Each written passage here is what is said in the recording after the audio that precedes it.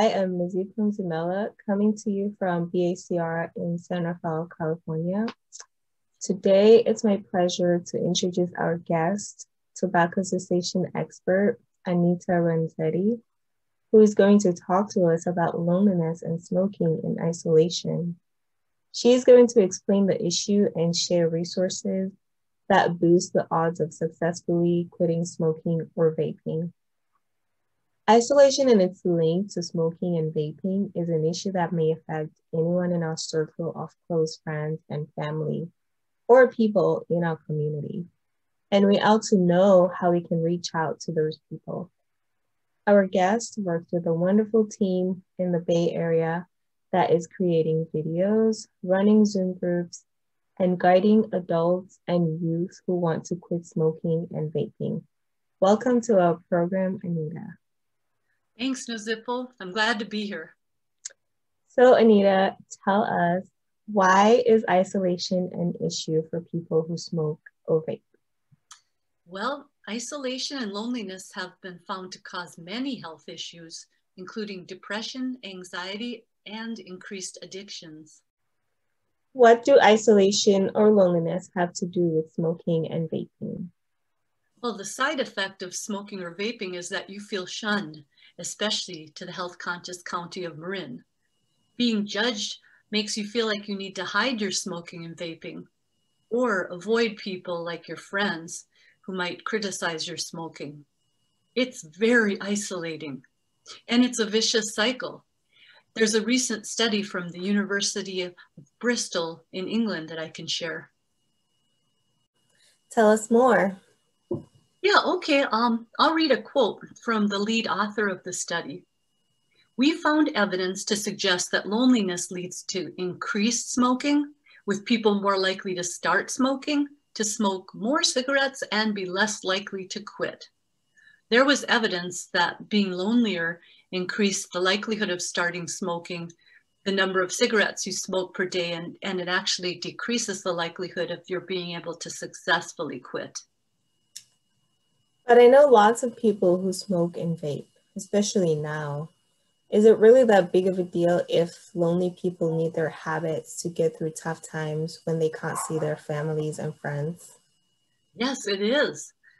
Leading tobacco research expert said if lonely people are more likely to start smoking and find it harder to quit, they're more likely to suffer the harm caused by smoking.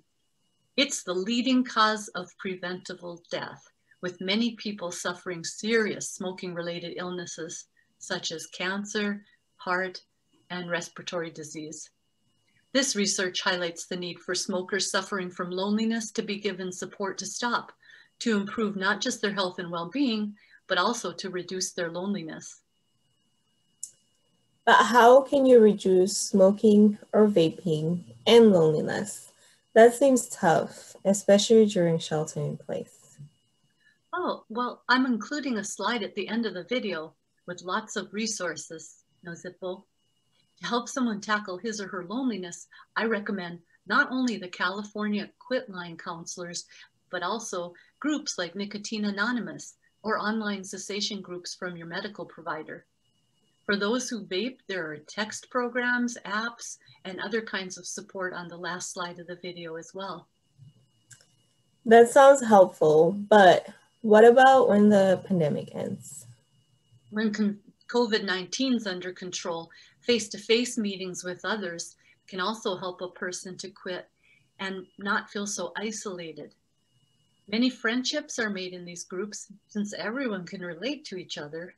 And of course, family and friends will be easier to connect with after the pandemic is gone, and that will reduce feelings of loneliness. Thanks, Anita. Oh, and I've seen ads for the California Quit Line recently. They say the counselors help you set up a quit plan and get free nicotine patches. Does calling a quit line really make a difference though? Yeah, actually the studies show it does, Zippo. Quitline services such as 1-800-NO-BUTTS and 1-844-8-NO-VAPE greatly increase the chances of quitting successfully. The U.S. Public Health Service found quitline counseling can more than double your chances of quitting. And quitline counseling, if you add it with medication like patches or prescriptions for quitting, they can more than triple your chances of succeeding in quitting. So things like counseling through Kaiser or your other medical provider and group support, they all help make a big difference in quitting success rates. I know some friends who tried to hide their smoking from me, and it broke my heart when I could still smell the smoke on them. Would it be okay if I read the story from the secret smoker you sent to me to help people be less judgy about smoking and vaping? Yes, Nozipho, please do. And remember, secret smokers can successfully quit. I'll provide a link to four secret smoker quit stories in the description below. That's great. Now I'll read the story.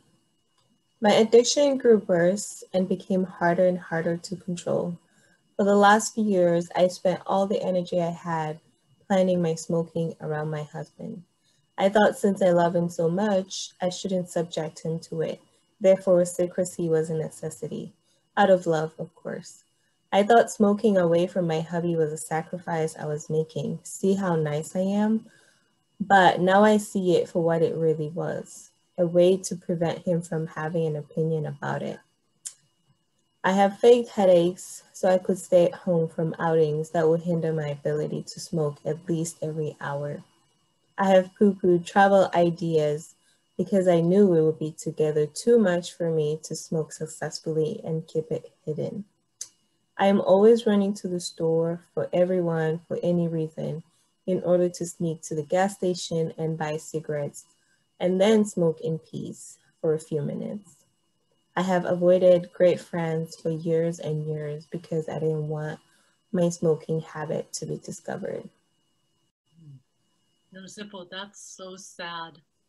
What you read really shows how easy it is to feel ashamed about smoking or vaping and self isolate. And being condemned by smokers, by the non smokers saying you shouldn't smoke, doesn't help a person to stop the key is support that addresses not just the smoking or vaping, but the loneliness of hiding your addiction. That's very encouraging, Anita. And did the woman in the story I read quit? Yes, she did. She used the quit line and then she did online research and she made it through withdrawal. She was joyfully tobacco free by the time she wrote her story.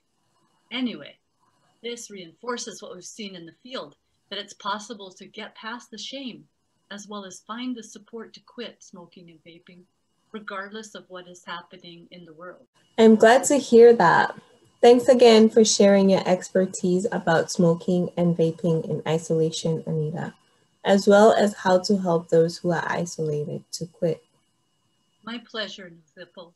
Well, viewers, that's all we have time for today. Please review the resource slide that you will see next. Pause on it to write down the Quitline phone number or other info such as how to find Nicotine Anonymous meeting. Remember, if you're isolated and smoking or vaping, either secretly or openly, there is help for you. And it's never too late to enjoy the health benefits of quitting. This is Nazi Mzimela from BACR in San Rafael, California, signing off.